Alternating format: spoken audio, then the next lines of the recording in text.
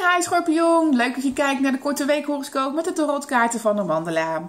Ehm, deze weekhoroscoop is voor week 3, maandag 15 januari tot en met zondag 21 januari.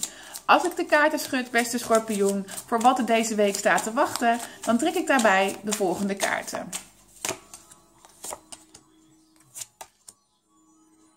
Ik heb de koning van pentagrammen, aas van pentagrammen en de twee van bekers.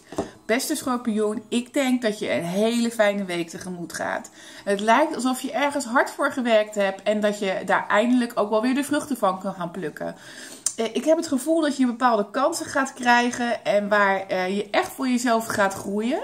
Je pakt deze kans ook met beide handen aan en hebt echt het gevoel dat je bereikt hebt wat je hebt willen bereiken. Dit geeft je zo'n fijn gevoel.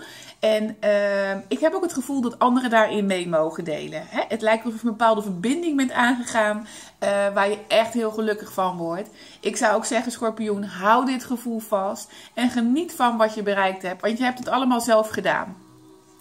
Uh, ik hoor graag wat je van deze week horoscoop hebt gevonden en of het een beetje bij je klopt. En ik zie je natuurlijk graag volgende week weer terug.